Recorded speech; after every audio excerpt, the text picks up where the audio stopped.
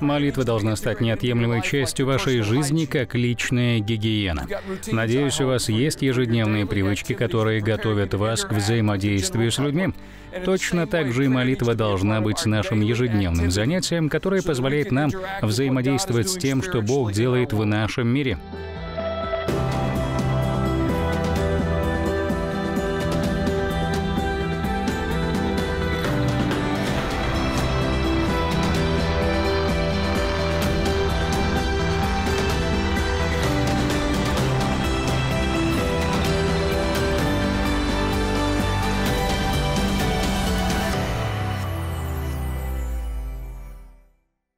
Эта сессия называется «Усилители молитвы».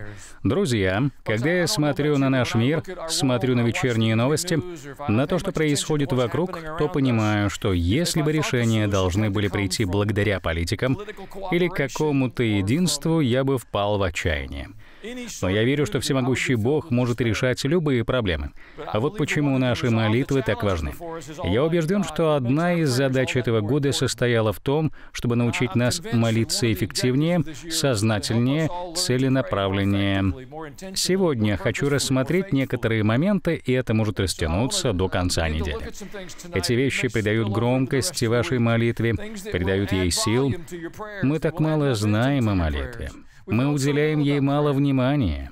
Многие мужчины вообще говорят, ну я особо и не молюсь. Я рад, что мы не говорим это уже так часто. Мы говорим, что молимся. Как нам помолиться? Где? Помоги мне молиться эффективнее. Я хочу поделиться вещами, которые придадут громкости и силы вашим молитвам. Начнем мы с Евангелия от Матфея 24 главы. Это главная причина. Это параллельные места Лука 21 и Матфея 24. Та же история записана в двух разных Евангелиях. Он обсуждает конец века. Я считаю, что это время, в котором мы уже находимся. Он говорит, и тогда соблазнятся многие друг друга будут предавать и возненавидят друг друга. И многие лжепророки восстанут и прельстят многих. Лжепророки — это не просто люди с неправильным религиозным посланием о Боге. Пророческий взгляд — это Божий взгляд на то, что происходит в мире. Если лжепророк будет использовать платформу и делиться информацией, которая не отражает Божий взгляд на происходящее, то зацепит многих. Думаю, я не ошибусь, если скажу, что лжепророков стало лишь больше. Мы слышим так много информации, которая не связана с Божьей точкой зрения. И многие впадают в заблуждение. А вот почему ваш голос так важен. Мы должны использовать все возможности, чтобы провозглашать истину от Бога. Мы должны провозглашать истину всемогущего Бога в мире. Лжепророки не делают этого. Мы должны нести Божью истину. Беззаконие умножится, и во многих охладеет любовь, а претерпевший до конца спасется, и проповедано будет сие Евангелие, Царствие по всей вселенной, во свидетельство всем народам, и тогда придет конец. Нам нужно терпеть. Единственный метод научиться терпению — это терпеть. Вы не купите его в Walmart или на Амазоне, его не привезут вам домой. Так как же нам претерпеть? Для этого вам нужна молитвенная жизнь, на которую вы можете положиться и которая даст результаты. Это неотъемлемая часть вашего духовного набора инструментов. Мы часто оставляли молитву на формальные религиозные служения или особую нужду. Молитва должна стать неотъемлемой частью вашей жизни, как личная гигиена. Первый усилитель, который мы также рассмотрим, это пост. Если вы не знаете, что это, то пост — это воздержание от пищи ради духовных целей. Нет единственного метода поста. В Писании мы видим разные виды постов. Иисус постился 40 дней и ночей, Даниил и его друзья постились, не принимая богатую пищу. Они ели простую пищу и пили воду. Бог почтил их за это. Пост может иметь разные формы, но обычно он связан с воздержанием от пищи. Это когда вы берете время, которое тратите на приготовление и потребление пищи, и используете для поисков Бога, чтения Библии, молитвы, обращения к Богу. Это проявление смирения. Если вы не понимаете, возьмите пост на 2-3 приема пищи, вы удивитесь, как сильно вы сфокусируетесь на том, что едите. Каким бы сильным или умным вы не представляли себя, пропустите пару приемов пищи, и вы станете весьма простым. Я не знаю такой вещи в своей жизни, на которую Бог отвечал бы так стабильно, как на мои посты и молитвы. В книге Даниила 9 главе мы видим один пример — я решил взять лишь один. Помните, Даниил был рабом, но он был одним из самых героических персонажей Библии. Более одного раза Бог посылал к Даниилу ангелов, чтобы сказать о том, что небо ценит его. Очевидно, что вы весьма хороши, если ангелы знают, что Бог ценит вас. Даниил наш герой. Даниил читал пророка Иеремию и понимал, что время плена в Вавилоне подходило к концу, что евреи вскоре вернутся домой. И его реакцией на это не была вечеринка или банкет. Он говорит, «И обратил я лицо мое Господу Богу с молитвою и молением в посте и в ретище и пепле». И молился я Господу Богу моему, и исповедовался, и сказал, «Молю Тебя, Господи Боже великий и дивный, хранящий завет и милость любящим Тебя и соблюдающим повеления Твои». А в ответ на действие Даниила Бог — отправил архангела с личным посланием. Я не думаю, что все сложилось так, если бы он не вложил время и силы в пост и молитву. И первая идея завернута в понятие прилежных поисков Господа. Это не просто рутина, не просто привычка. Бывают времена и места в вашей жизни, когда вы осознаете нужду и говорите, я обращусь с этим Господом. Или Дух Божий побуждает вас, или друг зовет вас. Часто эти приглашения бывают неожиданными. И тогда мы говорим, я буду искать Господа уникальным образом на протяжении определенного времени — дня, части дня, нескольких дней. Я уделю время и силы, чтобы предоставить Богу больше места в моей жизни. Я хочу, чтобы вы оставили идею о том, что вы сказали молитву грешника, не совершайте ужасных грехов и все. Что еще мне нужно? Не нужно просить меня стать гиперхристианином, я не просто прошу вас. Я говорю вам, что если вы думаете иначе, то я переживаю за вас. Мне страшно подумать, что мы повторяем молитву и думаем, что на этом наши усилия по духовному росту заканчиваются. Итак, пост — это способ поднять громкость ваших молитв. Мы не должны кричать к Богу. Он слышит наш шепот ночью. Но это проявление прилежности, желания, намерения, и Бог видит отношение нашего сердца. Я хочу добавить к этому еще один усилитель, о котором мы не часто говорим. В Писании это называется бодрствованием. В христианской литературе этот вопрос освещается по-разному. Некоторые называют это молитвенной стражей. По сути, это когда мы пропускаем сон — чтобы молиться и искать Господа. Вам не нужно не спать всю ночь. Это не обязательно, хотя и возможно. Точно так же, как вы не обязаны поститься 40 дней и ночей, вы не обязаны держаться 24, 48 или 72 часа без сна.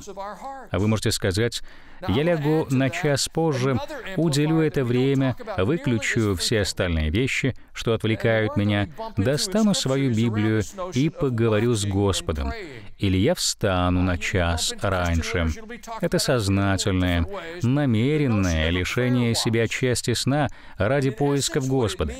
У меня бывают времена, когда Бог будет меня — я понял, что вместо того, чтобы злиться на то, что я не могу уснуть, я могу уделить это время Богу и сказать, «Господи, я слушаю».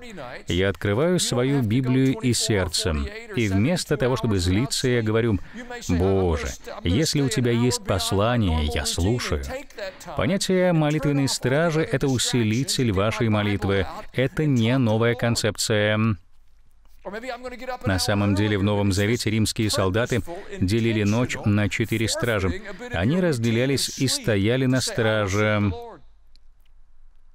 пленников, города или чего-то там еще. Первая стража идет с 6 до 9 вечера, от заката и до 9 вечера. Вторая стража с 9 вечера до полуночи. Третья стража от полуночи до 3 утра, а четвертая стража с 3 до 6 утра до рассвета. Четыре стража проводят вас от заката до рассвета. Важно, чтобы кто-то был на страже во тьме. Если вы хотите знать, когда молитвенная стража важнее всего, то именно в темное время — когда вам кажется, что тьма стала непроглядной, вы должны быть на страже. Мне кажется, что у нас есть проблемы с тьмой в последнее время. Иисус говорит в Евангелии от Иоанна 10 главе, 3 стихе, «Сторож открывает ему ворота». Он говорит о себе, о Мессии, о добром пастыре, Сторож открывает ему ворота, и овцы слышат его голос. Он зовет своих овец по именам и выводит их. Перед тем, как овцы узнают Иисуса, есть страж, который открывает ворота. Я считаю, что у церкви есть задание быть хранителями ворот. Мы должны открывать ворота тем, кого зовет пастух. А вот почему меня пугает то, что церковь продолжает жить как обычно. У нас есть задание, миссия — и нет другого человека, который выполнит задание церкви. Плана Б нет. Посмотрим Евангелие от Марка, 14 главу. Мы снова видим Иисуса. В этот раз Он в Гефсимании. Скоро начнутся страсти. Его арест будет через пару минут, затем суд и страдания. Он берет своих ближайших друзей в оливковую рощу. Он отошел от них, чтобы помолиться. Но он попросил их бодрствовать и молиться с ним, и не спать. Сказано, что он молился так. «Авва, Отче, все возможно Тебе. Пронеси чашу сию мимо меня, но ничего я хочу, а чего Ты» возвращается и находит их спящими, своих друзей, которых просил бодрствовать и молиться, и говорит Петру, «Симон, ты спишь? Не мог ты бодрствовать один час?» Бодрствуйте и молитесь, чтобы не впасть в искушение. Дух бодр, плоть же немощна. Очевидно, что молясь, Иисус решил свои обстоятельства перед тем, как вернуться к ученикам. Он не просил их молиться за Него. Когда Он разбудил Петра, то сказал, «Друг мой, разве ты не мог не спать и молиться хотя бы один час?» Тебе нужно молиться о том, чтобы ты пережил то, что будет с тобой дальше. Он говорит, дух бодр, а плоть немощная. Мы должны дисциплинировать себя телесно, чтобы быть доступными для духовной помощи, в которой мы отчаянно нуждаемся для жизни в победе. Я не верю, что мы бы не оказались в окружении тьмы, если бы мы стояли на страже, как должны были. Одна из задач церкви — быть стражами, сторожами.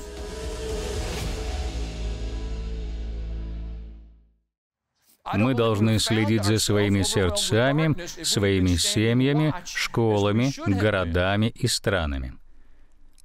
Если мы будем игнорировать свое задание, то Бог скажет нам весьма резкие слова. И эти задания не опциональные. Точно так же мы не должны считать их нейтральными заданиями. Мы не должны быть стражниками толерантности, где в тумане бытия каждый может делать все, что захочет. Я совсем не так понимаю наше задание. На самом деле, идея стража не настолько стара. На самом деле, сегодня много сил и средств выделяются на эту задачу. Все наши современные цифровые инструменты делают это. Чтобы быть эффективным и достичь своего назначения, нужно следить Нужно наблюдать, анализировать. А на основании собранной информации принимаются решения. Еще более пугающим аспектом цифровых наблюдателей и их повелителей, кем бы они ни были, является идея о том, что кто-то анализирует ваши действия, интересы и привычки. Можете не сомневаться, что это так. Они делают сознательные шаги для того, чтобы повлиять на ваше мышление, определить доступную информацию для вас и сформировать ваше поведение.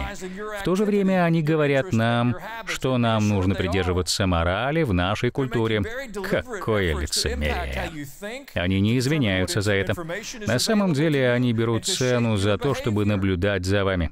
Они продадут вам оборудование, чтобы наблюдать за вами. Я прав?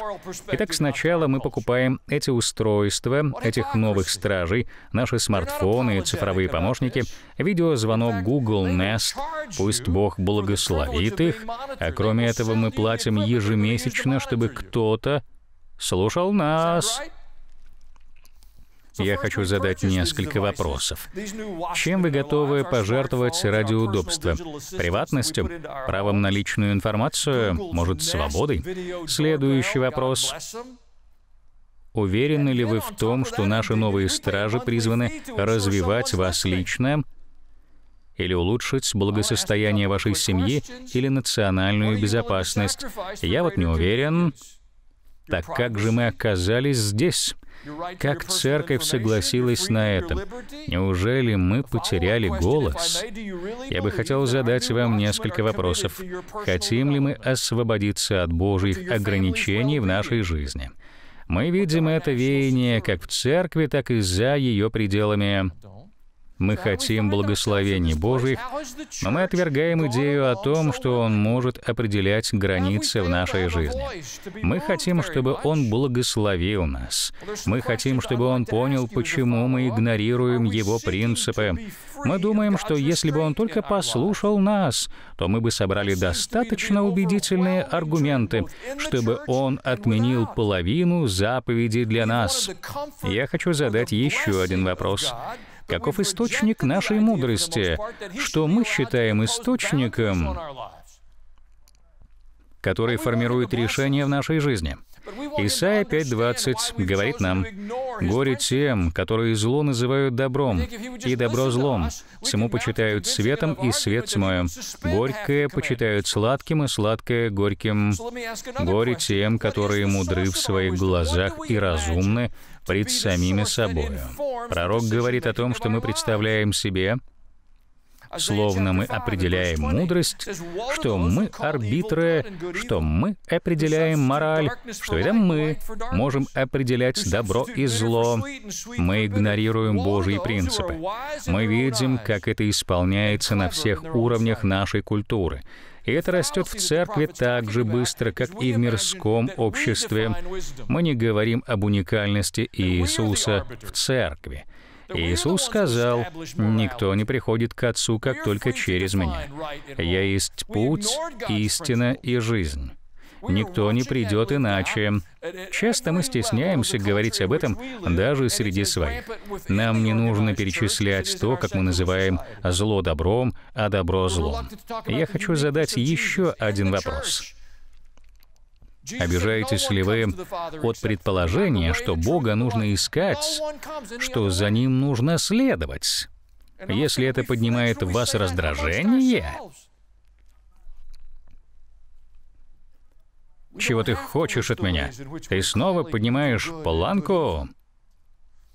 Я пришел сюда в среду вечером, на улице. Чего еще тебе нужно от меня, скажи? Вопрос не в том, что мне нужно.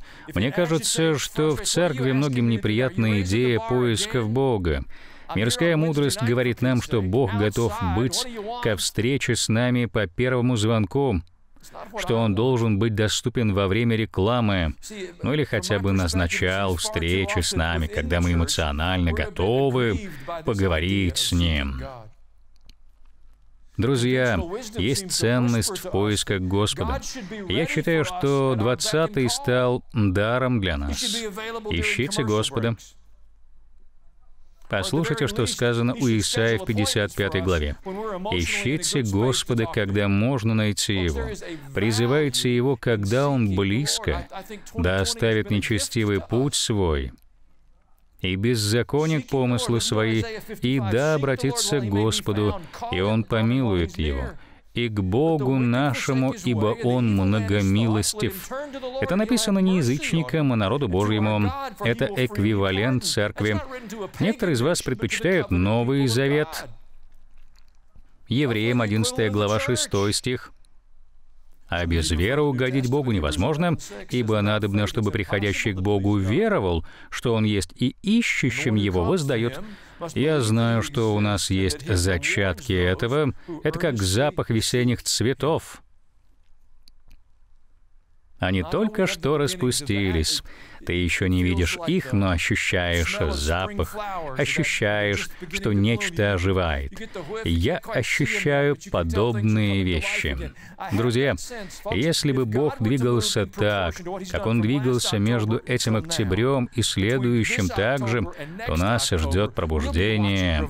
Я не утверждаю, что это гарантированно, но если посмотреть и послушать, то мы увидим часть движения Божьего, голод и жажду. Мы готовы сидеть на улице, на жаре, под дождем и в прохладе. Люди приходят каждую неделю, чтобы креститься. Что если бы эти показатели росли по экспоненте? Через год мы бы сказали, что не могли поверить в это. Кто-то должен быть готов к тому, чтобы стать катализатором. Кто-то должен сказать, я доверюсь Богу, поверю Ему, приму задание стража. И хочу закончить с последним фрагментом. Это не предупреждение для стража, но радостные новости для тех, кто принял это задание. Вам стоит прочитать его самим позже. Исайя 52:7 как прекрасны на горах ноги благовестника. Когда вы приносите радостную новость Иисуса соседу, сотруднику или родственнику, когда кто-то принимает ее, то наступит день, когда они посмотрят на вас с благодарностью за ту радостную весть, которую вы принесли им. Конечно, будут и те, кто отвергнет ее, кто-то будет насмехаться. Они насмехались над Иисусом, возвещающего мир, благовествующего радость, проповедующего спасение, говорящего Сиону «Воцарился Бог твой». Спасение — это объявление. Вам нужно спастись. Без Мессии вы обречены. Тут не только радостные новости, не только мотивирующее послание. Голос сторожей твоих. Они возвысили голос и все вместе ликуют, ибо своими глазами видят, что Господь возвращается возвращается в Сион, торжествуйте, пойте вместе развалины Иерусалима, ибо утешил Господь народ свой, искупил Иерусалим, обнажил Господь святую мышцу свою. Я в восторге от этого. Бог разомнет свои мышцы. Я не буду показывать вам свои, не стоит. Обнажил Господь святую мышцу свою пред глазами всех народов, и все концы земли увидят спасение Бога нашего. Я не знаю, что Бог сделает через наши скромные усилия, но я знаю, что Бог ищет на земле мужчин и женщин, которые обратят свои сердца к Нему, и я хочу быть в числе этих людей. Результат — это не наше дело. Верность приглашению — вот наша задача. Смотрите каждую неделю нашу программу с пастором Аланом Джексоном, а также заходите на наш веб-сайт, где вы можете найти прекрасные ресурсы, которые помогут вам подняться на новый уровень вашей христианской жизни. Мы также просим вас подумать о том, чтобы поддержать нас в распространении этого послания по всему миру. Это будет возможно только с вашей помощью. Поэтому подумайте о том, чтобы стать нашим партнером. И если вы окажетесь в наших краях, мы будем очень рады вас видеть в церкви World Outreach в Мёрфисборо. А также вы можете ежедневно быть на связи с пастором Аланом Джексоном в соцсетях. Спасибо, что вы с нами и что являетесь частью этого служения. До скорой встречи в нашей программе с пастором Аланом Джексоном.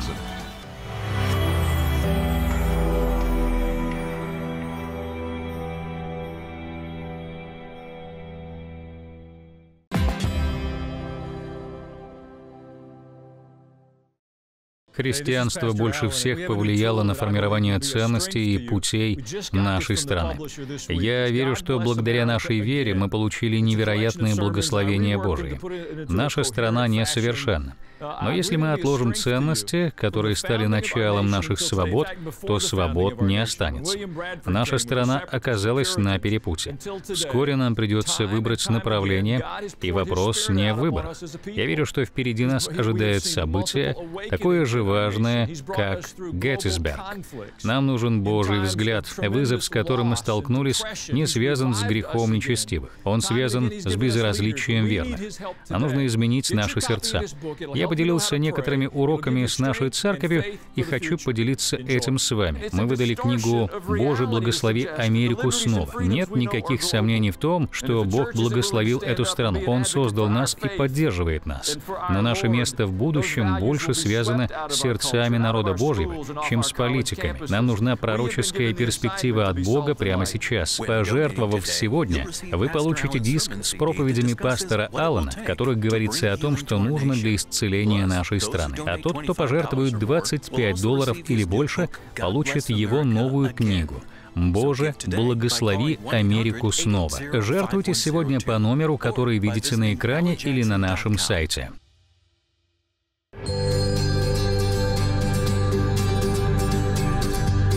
Церковь, мы продолжаем двигаться вперед, мы проводим служение. Наша церковь жива. Мы хотим, чтобы вы были с нами. Мы не могли приходить с марта. Сегодня мы впервые здесь, и мы очень рады быть сегодня здесь. Это ободряет, потому что ты видишь, что мы можем быть вместе. Это здорово. Когда я услышала о COVID, то не испугалась. У меня есть Бог, и я ничего не боюсь. Совершенно ничего. Я призываю людей приходить, встречаться, общаться, быть частью тела Христова. Не верьте лжи, что вы можете быть сами. Это совершенно не так. Жизнь чудесна. Возвращайтесь, приходите в церковь снова. Приглашайте своих друзей, родных. Это будет чудесное время. Надеемся увидеться с вами.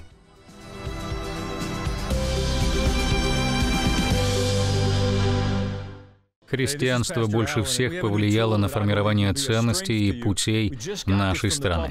Я верю, что благодаря нашей вере мы получили невероятные благословения Божии. Наша страна несовершенна. Но если мы отложим ценности, которые стали началом наших свобод, то свобод не останется. Наша страна оказалась на перепуте. Вскоре нам придется выбрать направление, и вопрос не в выборах. Я верю, что впереди нас ожидает событие, такое же важное, как Геттисберг. Нам нужен Божий взгляд. Вызов, с которым мы столкнулись, не связан с грехом нечестивых. Он связан с безразличием верных. Нам нужно изменить наши сердца.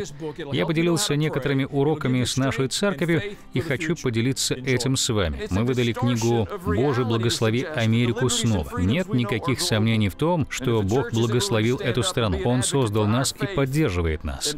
Но наше место в будущем больше связано с сердцами народа Божьего, чем с политиками. Нам нужна пророческая перспектива от Бога прямо сейчас. Пожертвовав сегодня, вы получите диск с проповедями пастора Аллана, в которых говорится о том, что нужно для исцеления населения нашей страны. А тот, кто пожертвует 25 долларов или больше, получит его новую книгу.